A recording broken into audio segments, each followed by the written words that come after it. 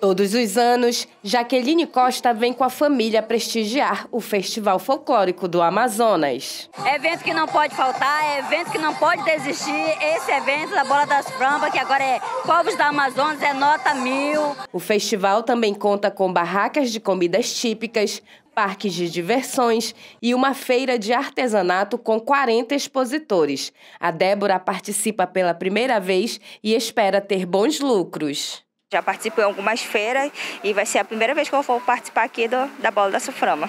E eu espero que venha bastante gente para conhecer o nosso festival e conhecer os nossos produtos. Nos dias 11 e 12, 18 grupos de dança vão se apresentar na modalidade Mostra Folclórica, sem avaliação de jurados e sem concorrência, uma oportunidade de ingressar na disputa oficial.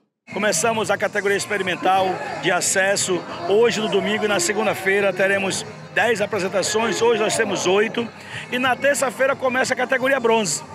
E aí vamos fazer categoria bronze e prata com muita disputa de quadrilhas, quadrilhas cômicas, cirandas.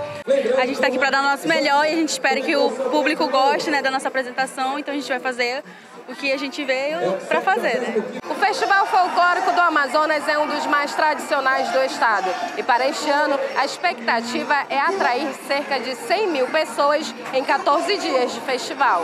O festival acontece no Centro Cultural Povos da Amazônia, na Bola da Suframa, Zona Sul de Manaus, a partir das 7 horas da noite. As danças estão motivadas, estão competitivas, estão melhor estruturadas. Eu tenho a certeza e a convicção de que nós teremos um dos maiores, ou quem sabe o maior festival folclórico de Manaus.